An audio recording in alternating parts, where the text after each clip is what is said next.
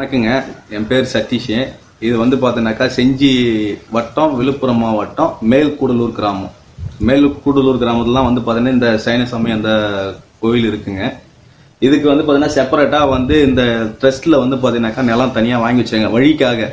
இன்றைக்கி வந்து அந்த வழி வந்து ப்ராப்பராக மெயின்டைன் பண்ணாததுனால அதை வந்து பார்த்தீங்கன்னா பக்கத்தில் பயிற்சிடுவாங்க அந்த வழியை வந்து ஆக்கிரமிப்பு பண்ணிட்டாங்க. இது ஒரு பிரச்சனை. ரெண்டாவது என்ன பார்த்தீங்கன்னாக்கா இந்த கோயிலுக்கு வந்து பார்த்தீங்கன்னாக்கா ப்ராப்பராக ஒரு பாதுகாப்புன்றது கிடையாது. பாதுகாப்பு இல்லைன்னா எதனாலனாக்கா இங்கே வந்து பார்த்தீங்கன்னா இந்த ட்ரிங்க்ஸ் பண்ணுறது மற்றபடி ஒரு சில இந்த மாதிரி கெட்ட பழக்கம்லாம் இங்கே வந்து நிறையா பண்ணிகிட்டு இருக்காங்க.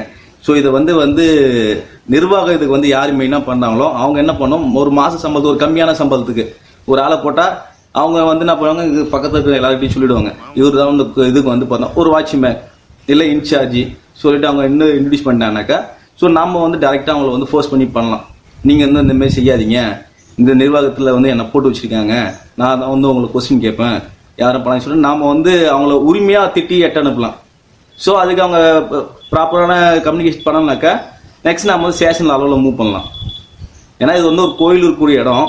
இந்த இடத்துல வந்து இந்த மாதிரி நீங்களே இந்த வீடியோலாம் காட்டுங்க. இங்கே எவ்வளோ பாட்டில் இருக்குது கிளாஸ் இருக்குது கோயில் இதோ எதில் இருக்குது பக்கத்தில் அங்கே பாருங்கள் எவ்வளோ பாட்டில் இருக்குது இல்லை இன்னொன்று என்னக்கா இந்த ட்ரிங்க்ஸ் பண்ண வரவங்க இங்கேயே சாப்பாடு சமைச்சு செய்கிறாங்க இங்கே வரவங்களுக்கு வந்து பார்த்தீங்கன்னாக்கா எந்த ஒரு டிஸ்டர்பன்ஸும் இருக்கா இல்லாமல் இருக்கிறதுனால என்ன பண்ணுறாங்க இங்கேயும் வந்து கறியெல்லாம் எடுத்துகிட்டு வந்து சமைச்சு இங்கேயே உட்காந்து ட்ரிங்க்ஸ் பண்ணிட்டு நாலு முழுக்க இங்கே வந்து அவங்க என்டர்டைன்மெண்ட் பண்ணிட்டு போகிறாங்க இல்லை இன்னொரு பிரச்சனைனாக்கா வெளியிலேருந்து வர சாமி கும்பிட வரவங்களுக்கும் அது ஒரு பெரிய இடையூறாக இருக்குது ஏன்னா இங்க லோக்கல்ல இருக்கவங்க இருபது பேர் முப்பது பேர் சேர்ந்து சரக்கு அடிச்சிட்டு இருக்காங்க.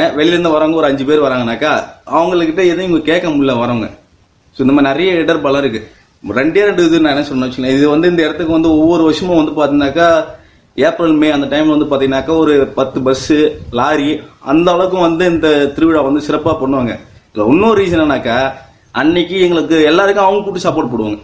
அன்னைக்கு ஒரு நாள் சாப்பாடு அவங்க எங்களுக்கு கொடுத்துருவாங்க. அப்போ இவ்வளோலாம் பண்ணும்போது இது ஏன் நம்ம வந்து பாதுகாக்கக்கூடாது?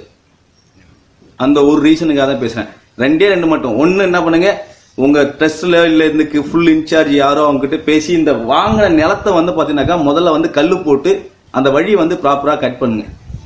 ரெண்டாவது வந்து இதுக்கு வந்து பாத்தீங்கன்னாக்கா பூட்டு சாவி போட்டு இதை மெயின்டைன் பண்ணணும் இங்கே லோக்கலில் இருக்க ஒரு ஆளுக்கு இன்சார்ஜ் மாதிரி கொடுக்குதுனாக்கா வரவங்களுக்கு இங்கே இருக்கிற நம்பரை கனெக்ட் பண்ணி விட்டால் அவங்க வந்து ஓப்பன் பண்ணி விட்டு அவங்க எல்லாரையும் உபசரித்து அனுப்பிச்சதுக்கப்புறம் திரும்ப க்ளோஸ் பண்ணி சாவி அவங்ககிட்ட இருக்கணும். இந்த மாதிரி பண்ணோம்னா இன்னும் நல்லாயிருக்கும் ரெகுலராக ரெகுலரா வந்து பாத்தீங்கன்னாக்கா இதுக்கு வந்து பாத்தீங்கன்னா ஏதோ ஒரு பூவோ இல்ல டெய்லி இந்த விளக்கு ஏத்துறது இந்த மாதிரி ஒரு சமாசானம் கொண்டு வந்தா இன்னும் நல்லா இருக்கும். ஏன்னா டெய்லி ஆள் வரப்போ இருக்கிறாங்க. அதனால வந்து ஒரு அச்சம் இருக்கும். ஸோ கண்டிப்பா அதுக்கு வந்து ஒரு அகல் விளக்காவது கொதிக்க வச்சுட்டு போகலாம் டெய்லி. அப்படி டெய்லி பண்ண முடியலையா? வெள்ளிக்கிழமை ஞாயிற்றுக்கிழமை செவ்வாய்க்கிழமை அந்த மாதிரி வாரத்தில் ஒரு மூணு நாள் பண்ணலாம். லோக்கலில் இருக்கிற ஒரு ஆளை வந்து நீங்கள் முதல்ல நல்ல அளவு ஒரு ஆளை தேர்ந்தெடுங்க. தேர்ந்தெடுத்து பண்ணுங்க. ஏன்னா நீங்கள் லோக்கல் ஆள் தான் இப்போ அங்கே வந்து பார்த்தீங்கன்னா ரோட்லேருந்து இங்கே வர்றதுக்கு ஒரு கிலோமீட்டருக்கு மேலே இருக்குது நீங்கள் வந்து பார்த்தீங்கன்னா வழி இல்லாதனால அங்கேயே வண்டி விட்டு தான் நீங்கள் நடந்து வரணும் அவ்வளோ தூரம். ஏன் கோயிலுக்குன்னு சொந்தமாக பணம் போட்டு இடம் வாங்கி அந்த இடத்த ஏன் நம்ம வந்து யூஸ் பண்ணாமல் இருக்கணுன்றதே என்னால் புரிஞ்சுக்க முடியல. இதுதான் என்னோட பெரிய ஆதங்கமாக இருக்குது நான் எல்லாரும் வரும்போதெல்லாம் நானே போய் வாண்டடா வாண்டடா சொல்லுவேன். பண்ணுங்க இந்த வழியை கரெக்டாக மெயின்டைன் பண்ணுங்க. ஏன்னா வழி இல்லாமல் நிறைய இடத்த கோயிலுக்கு போக முடியாமல் இருக்குது பணம் கொடுத்து வழி வாங்கி நம்ம யூஸ் பண்ண முடியாமல் இருக்கும். இந்த ஒரு பிரச்சனை தான் வேற ஒன்றும் கிடையாது. சார் என் பேர் சதீஷுங்க. நான் வந்து பி மெக்கானிக்கல் இன்ஜினியரிங் நான் வந்து பார்த்தீங்கன்னா லோக்கலில் வந்து ஒரு டைரி டைரியில் வந்து ஒர்க் பண்ணுறதுக்கு மேனேஜராக இருக்கேன் நான். என்னோட mobile number seven eight double one eight zero five double one zero இந்த நம்பருக்கு யாரும் வந்தாலும் எனக்கு கூப்பிடுங்க. உங்களுக்கு எந்த ஹெல்ப் வந்தாலும் நான் பண்ணுறதுக்கு தயாராக இருக்கேன். இன்கேஸ் வந்து பார்த்தீங்கன்னாக்கா ஒரு வண்டி பஞ்சர் ஆகிடுச்சோ இல்லை வேறு ஏதோ எமர்ஜென்சியோ எந்த ஹெல்ப் வந்தாலும் இந்த நம்பருக்கு எனக்கு கூப்பிடுங்க. எங்கே இருந்தாலும் half an hour minimum time அதுக்குள்ளே நான் வந்துடும் பத்து நிமிஷம் நான் வரமுல கூட பசங்களுக்கு ஃபோன் பண்ணி வர வச்சு உங்களுக்கு எல்லா சேஃப் நான் பண்ணி கொடுப்போம். ஒன்றும் பிரச்சனை இல்லை. இது வந்து நான் வந்து ஒரு சோஷியல் ஒர்க்காக தான் எல்லாமே பண்ணிட்டு இருக்கேன். பண்ணுங்க செய்யுங்க. நான் இருக்கேன். வாங்க.